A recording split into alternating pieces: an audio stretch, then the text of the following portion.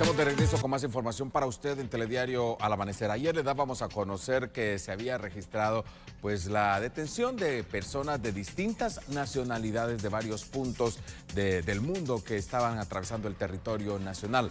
El proceso migratorio y además todo el protocolo que corresponde fue llevado y ahora según se sabe hay más datos que revelan cómo va encaminado dicho proceso. Son 95 personas 95 personas. Ayer habíamos dado el dato que eran 80, pero ya se han sumado algunas más que son expulsadas. Ahora sí se reporta que han sido expulsadas del territorio guatemalteco, según se da a conocer luego de haber sido localizadas por agentes de la Policía Nacional Civil trasladándose de manera irregular en distintos puntos del país. Estas 95 personas extranjeras fueron trasladadas al CAMIEX, que es este centro de atención para los migrantes eh, que han estado pues obteniendo varias personas que buscan directamente empezar el año 2023 con su sueño americano. En esta ocasión fueron detectadas en el territorio guatemalteco. Las nacionalidades son las siguientes. Personas de Haití, de China, de India, de Ecuador,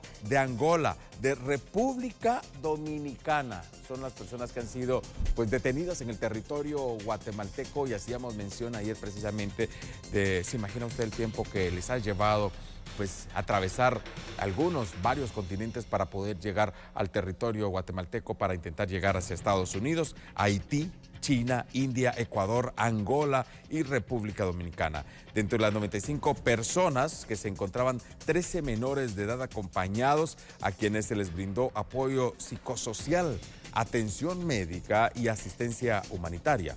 De hecho, el director general Stuart Rodríguez verificó pues precisamente la implementación de los protocolos y atención de las personas que serán trasladadas por el Instituto Guatemalteco de Migración con el acompañamiento de la Policía Nacional Civil hacia el puesto de control fronterizo de agua caliente. Aquí tenemos ya las imágenes cuando estas personas están siendo trasladadas directamente hasta dicho centro fronterizo.